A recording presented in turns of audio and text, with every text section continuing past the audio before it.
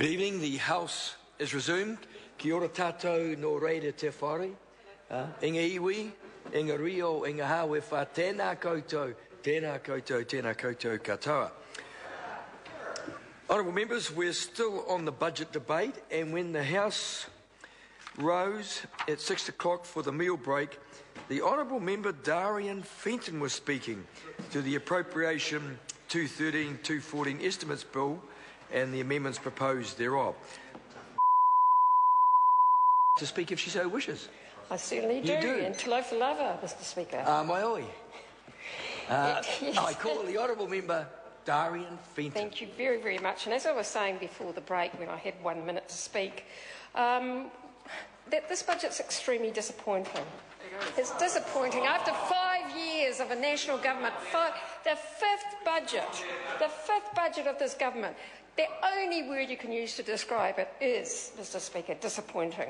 The government's propping up its mates at Sky City and in the big end of town, and they haven't lifted a finger in this budget to help grow real, sustainable, way, well-paid, decent jobs. There's nothing in this budget for those affected by the entrenched two-speed economy we've been debating today. There's nothing in this budget for the tens of thousands of out-of-work New Zealanders. There's nothing in this budget to give hope or support to hollowed-out regions and unaffordable cities. Our young people are out of work in large numbers and have been consigned to youth wages, and they're expected under this government to be grateful to be paid a pittance. After five budgets of this government, incomes and wealth are ever more concentrated in the hands of a few. CEOs these days are paid sickeningly huge salaries that are on average 35 times the size of a median Kiwi's wage. Something wrong with that. Today, the top 20% of the population earn five times as much as the bottom 20%. And yet, Mr Speaker, two in five seriously deprived children have working parents on an adequate income. So this isn't just about people out of work, it's about people who are working, who are not earning a decent living. Now, even this government's finally admitted that child poverty has become is, is a problem. And so they've started to talk about it today and uh, about dealing with some of the symptoms.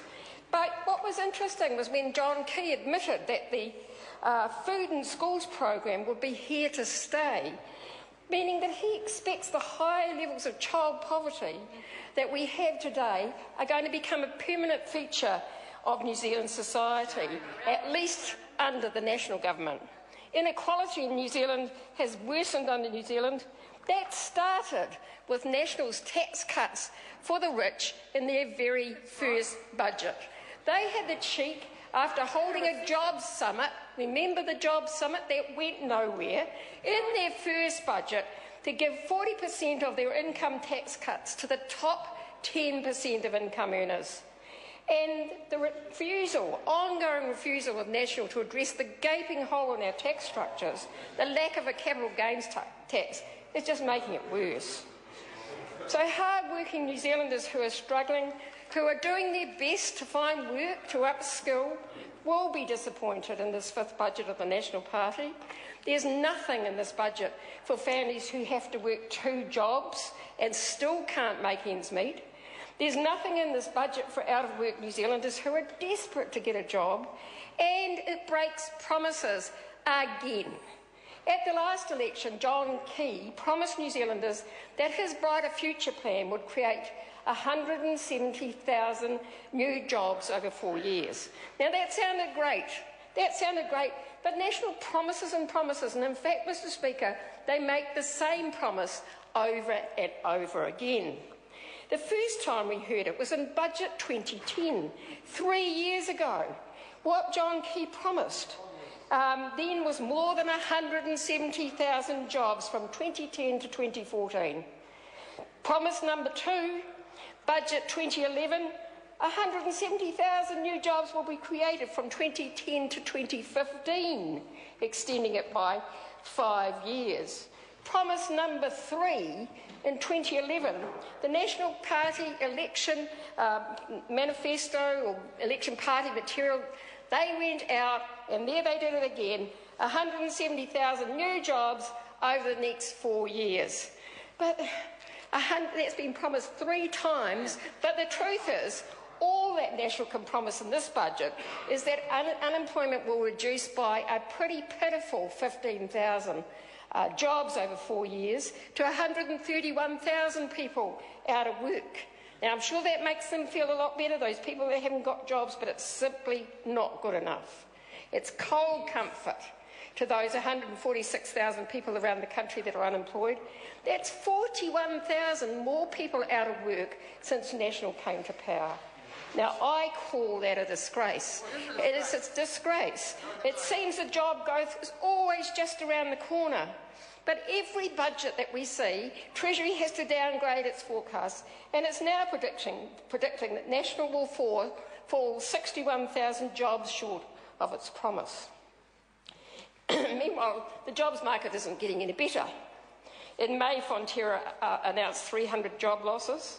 A leaked Air New Zealand docu document shows they may cut 150 jobs and they're actually looking to contract out all of their uh, flight attendants at the moment so they can cut wages.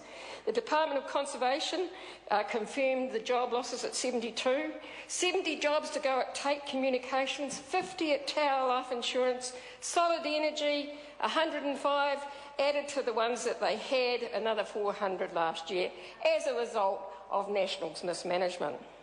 In Auckland, where I come from, unemployment actually rose to 7.3% in the March quarter. In Northland, in Northland, it's 10%. In Wellington, it's 6.8%. The only thing that is holding up the unemployment figures is the Christchurch rebuild. But it's not creating jobs. The economy under Bill English and John Key is not creating jobs other than those in the Christchurch rebuild, and they have no idea about how to get the economy back on track. They sitting by, they're sitting by and watching as people opt out of the labour market. They, they're giving up, Mr Speaker. It's just too hard to find a job, or they're going off overseas. Under John Key's Brighter Future, it's easy to see where the money's going.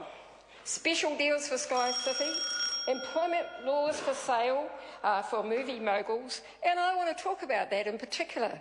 That deal was supposed to be for the good of New Zealanders, but yesterday we heard that Weta Digital is seeking to bring in 526 foreign workers. That's on top of the 369 jobs they were able to employ from offshore last year. That's nearly a thousand jobs. Now, where is the responsibility? Where is the requirement on this government on Weta Digital with the taxpayer-funded benefits that they, that industry is getting to train New Zealanders to do the work? There isn't one, and Mr Speaker, they will be back next year asking for another 500 workers from overseas. And we're not talking about there are some highly skilled, skilled jobs, but there are many uh, that New Zealanders could do without much training, such as cruise services, accounts, and publicity. So, the government's response to all of this uh, dreadful budget, sell the assets, uh, take them out of the hands and ownership of New Zealanders, help their mates, again. And I just, last thing I would like to say, uh, Mr Speaker, on the, the, on the North Shore where I work as a list member, I've been asking questions about the numbers of people that have been asking, um, approaching work and income uh, for uh, support to pay their power and gas bills. You would be, the House would be surprised at these numbers. In Maggie Barry's and Jonathan Coleman's area, there's something like 487. In the Rodney district where March, Mark Mitchell works, there's 968, that's 1,455 people who have applied to, for help to pay their power bill. Yet this government can only talk about selling assets. It, wants, it has no, no ideas about how to make life better for New Zealanders, and it has no idea about how to get people into work to make life better for them. They're looking after their mates. This is a disgraceful budget. I recognise the honourable member, Dr Paul Hutchison. Thank you, Mr